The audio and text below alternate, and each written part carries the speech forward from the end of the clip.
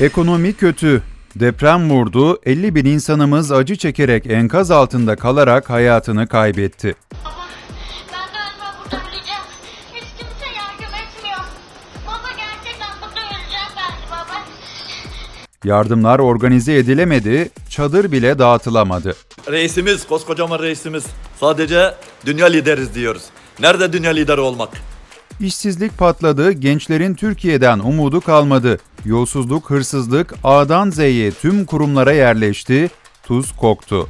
Emniyet Müdürü depremzedeler için Hatay'a gönderilen yardımları çaldı. Bütün bu olumsuzluklara rağmen neden Erdoğan seçime gidiyor? Cumhurbaşkanı ve milletvekili seçimlerinin 14 Mayıs'ta yenilenmesi kararını imzalamış bulunuyorum. Planı ne? Kimlerden medet umuyor? Kazanmak için ne yapacak?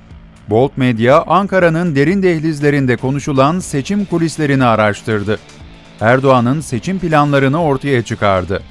Sedat Peker bugünlerde sessiz dursa da asıl mesleği korku iklimi oluşturmaktı bir zamanlar. İnsanların hayallerini donduruyorsunuz. Korkuyla bastırıyorsunuz. Erdoğan Peker'i korku iklimi oluşturmak için kullandı ve bir kenara attı. Peker oyun dışı ama Erdoğan'ın devreye girecek mafya babaları seçim sürecinde tetikte bekliyor. Peki kim bu mafya grupları? Alaaddin Çakıcı Kılıçdaroğlu'nu defalarca tehdit etti. Ağza alınmayacak küfürler savurdu. Fakat yaşlanan Çakıcı sağlık sorunlarıyla uğraşıyor, eskisi gibi değil. Bir mafya bozuntusunun tehdidi bana ulaştırıldığında sadece gülümsedim. Kim oluyor Allah aşkına? Beş paralık adam. Bir diğer mafya babası Kürşat Yılmaz, iktidarın küçük ortağı MHP'nin eli kılıçlı adamı. Uzun yıllar süren hapis hayatı sonrası dünya evine girdi. Karanlık ilişkileri olsa da bu yaştan sonra kendini feda etmeyecek kadar kurnaz. Tabii ki evet. Sedat Peker'i ortadan kaldırma işini de halledemeyen Mehmet Ali Ağaca, cemaat toplasa da etki alanı sınırlı. Tekrar hapse düşmeyi göze alamıyor. ideolojiyi bilen insanlar var. E, çevremizdeki insanlar var. O zaman Ya biz medyaya buna- bizim hakim olmamız lazım. Nereye? Medya, medya. Basına yani. Heh, Basın çok önemli. medya. Evet. Toplantı deşifre olduktan sonra hemen geri vites yaptı.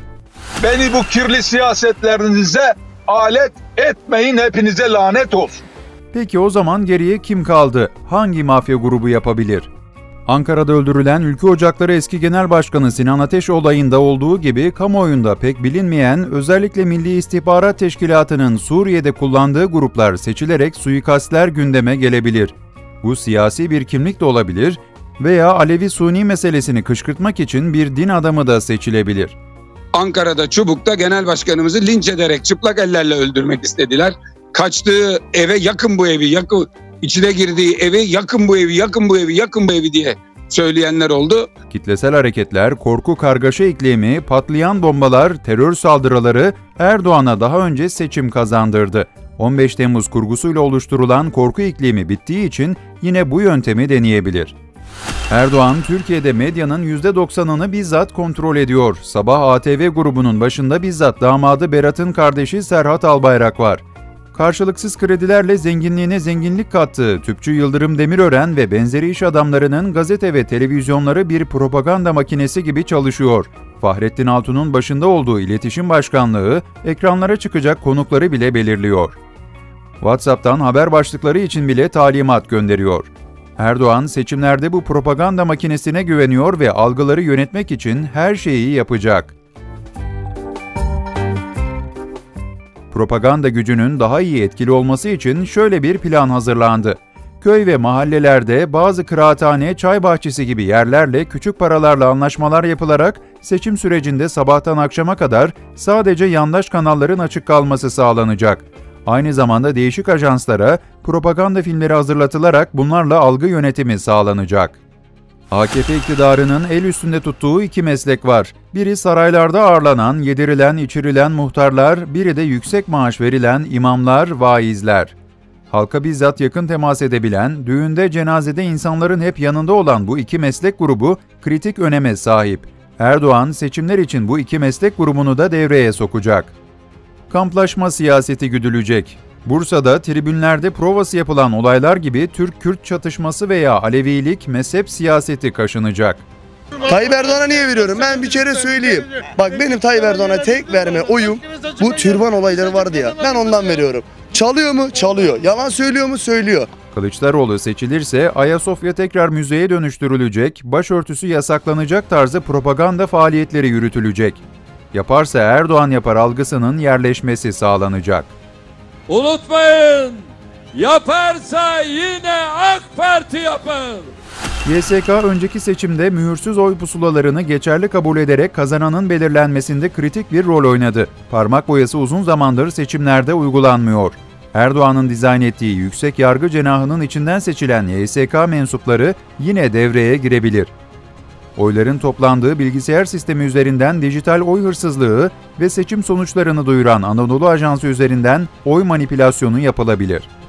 Bunun yapılmaması için tek çare sandıkların korunması ve aynı İstanbul Ankara Belediyesi seçimlerinde olduğu gibi manipülasyon yapılamayacak kadar yüksek oy farklarının çıkması. Makası açmak bir takım atraksiyonları, bir takım manipülasyonları, bir takım oyunları bozar. O yüzden yani biz altı partinin oyuyla değil, daha büyük bir seçmen kitlesinin oyuna, desteğine ihtiyaç içindeyiz. Ona göre bir dil kullanacağız, onu kazanmaya çalışacağız diye bir strateji baştan kurmak lazım. Enflasyonun patladığı, işsizliğin arttığı, depremle birlikte ekonominin dibe çöktüğü Türkiye'de Erdoğan'ın dış kaynak bulması gerekiyor. Erdoğan işte tam bu noktada dışarıdan gelecek paralara güveniyor. Ruslar gaz borcunu öteleyerek Katar, Birleşik Arap Emirlikleri, Suudi Arabistan'sa doğrudan Merkez Bankası'na para yatırarak Erdoğan'a açık desteklerini ilan etti. İşini sağlam almak isteyen Erdoğan, Amerika'nın da desteğini almak istiyor. Biden yönetiminin AKP'ye sıcak bakmadığı bilinse de lobi şirketlerine ödenen milyonlarca doların etkisiyle İbrahim Kalın yeni kıtada destek turlarına başladı. Erdoğan rakibi Kılıçdaroğlu'nu eskiden beri küçük görüyor. Kibirli bir yaklaşımla üstten bakıyor. Bay sen bir koyunu dahi güdemezsin, güdemezsin. Hala seçilebileceğini düşünmesinin sebeplerinden biri de işte tam da bu kibrinden dolayı halkın kendisine karşı Kılıçdaroğlu'nu tercih etmeyeceği inancı. Son Cumhurbaşkanlığı seçimlerinde Erdoğan'a rakip olan Muharrem İnce oylara sahip çıkması beklenirken seçim gecesi ortadan kayboldu. Üstüne adam kazandı diye mesaj atarak kendisine inananları hayal kırıklığına uğrattı. Silik diye dalga geçtiği Ekmelettin İhsanoğlu'ndan bile az oy almasına rağmen tekrar Cumhurbaşkanlığına aday oldu. Taraflı tarafsız tüm seçim anketlerinde kazanabilecek gibi gözükmüyor. Bu durum Erdoğan'a yarıyor. Erdoğan kendisine oy vermeyecek genç kitlenin rakibi Kılıçdaroğlu'na değil Muharrem İnce'ye yönelmesini istiyor. Muharrem İnce'nin dans ettiği görüntüler aktroller vasıtasıyla sosyal medyada trend oluşturarak akım başlatmaya çalışıyor. Erdoğan'ın seçimler için güvendiği konulardan biri de kendisine çalışan bu rakip adaylar. Zaten yürüyorum taraflara arkamda alem Kollamış gülü ve kurumu zaten Yokla bak cevabı alacağım aynen 20 yıldır koltuğunu koruyan Erdoğan'ın yeniden seçilmek için her şeyi yapacağı, tüm yollara başvuracağı şüphesiz. Fakat bu kez tüm numaraları boşa çıkmış görünüyor. Bir zamanlar 65 yaş üstü siyaset yapmasın diyen radikal Erdoğan yok. Söylediği her şeyin tam tersini yaptı. Tarih de tersine işliyor. Bu fotoğrafta Erbakan'ın kollarını kaldırarak tebrik ettiği İstanbul ve Ankara belediye başkanlıklarını kaybetti. Şimdi bu belediye başkanları kendine rakip oldu.